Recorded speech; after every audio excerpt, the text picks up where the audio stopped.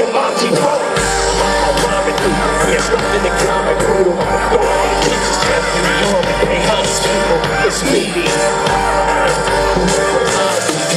I don't brutalize, but I do know.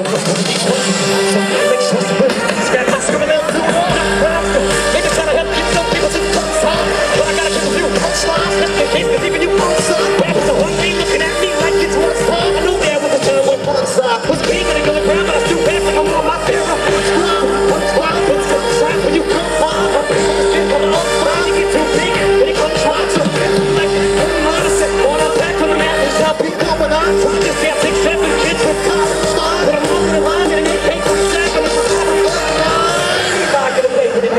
but it ain't as big as I was. I'm so in a turn immortal, coming through the portal. I'm stuck in a time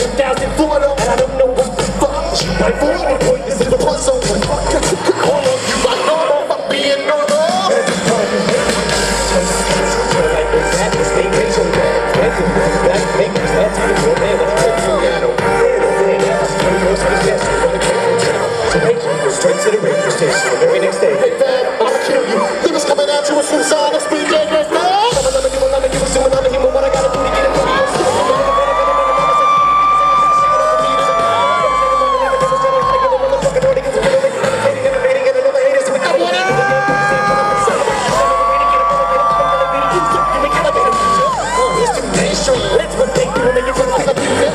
It's not it's pop. That's coming like a. Pop. I don't know to. I don't know what. You know what you. The you? You to? You